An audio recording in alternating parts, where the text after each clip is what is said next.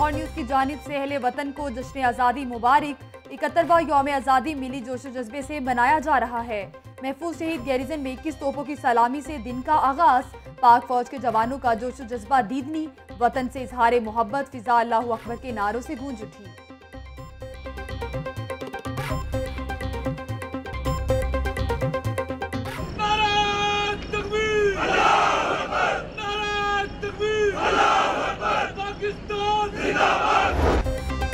وطن، ہماری جان، اس وطن پر سب کچھ قربان۔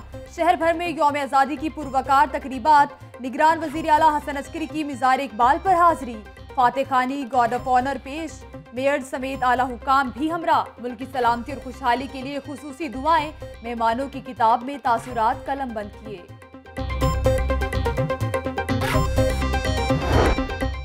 مزار اقبال پر گارڈز کی تبدیلی کی پروکار تقریب۔ پنجاب رینجر سے آرمی کے چاکو چوبند دستے نے مزار اقبال پر گارڈز کے فرائض سنبھال لیے۔ G O C major general Shahid Mahmood کی مزار اقبال پر حاضری، پھولوں کی چادر چڑھائی، فاتح خانی۔ ملک کی سلامتی اور خوشحالی کے لیے دعا، مہمانوں کی کتاب میں تاثرات بھی لکھے۔ میرا ایمان پاکستان۔ پنجاب اسمبلی میں پرچم کشائی کی تقریب۔ اسپیکر پنجاب اسمبلی رانا محمد اقبال نے پرچم کشائی کی۔ ملک کی سلامتی اور خوشحالی کی خصوصی دعا۔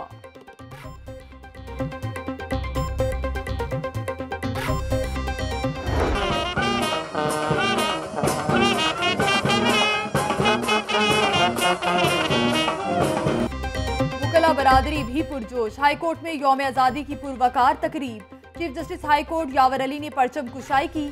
سیشن کورٹ میں بھی پرچم کشائی کی تقریب۔ پولیس کے چاکو چوبند دستے نے سلامی دی۔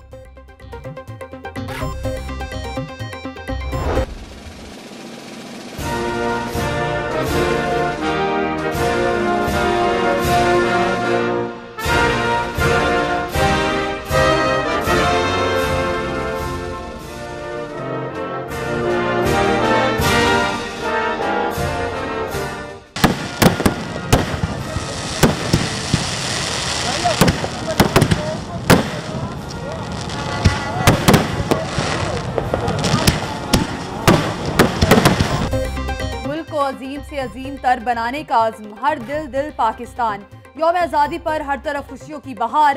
مختلف مقامات پر آتش بازی کا شاندار مظاہرہ۔ آسمان جگمگا اٹھا منچلے رات بھر سڑکوں پر رہے۔